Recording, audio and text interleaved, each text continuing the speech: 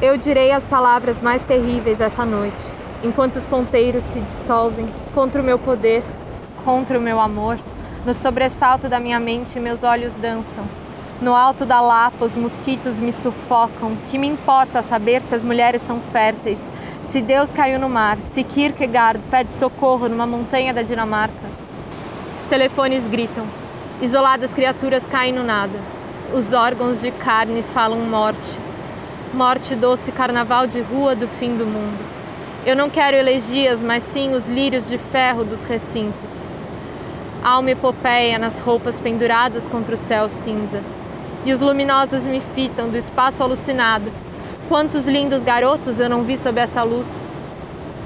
Esse é o primeiro trecho do poema Meteoro, do Roberto Piva. Esse poema, ele fecha o livro Paranoia, um dos livros principais do autor. O livro foi publicado em 63 e os poemas têm um diálogo com as fotografias do artista Wesley Lee, um artista muito importante brasileiro, que que fez esse trabalho junto com Roberto Piva. É um trabalho, assim, é um diálogo profundo entre a poesia e a fotografia. O livro ficou 37 anos sem ser editado e foi publicado em 2009, eu acho, pelo IMS, o IMS, nessa nova edição aqui.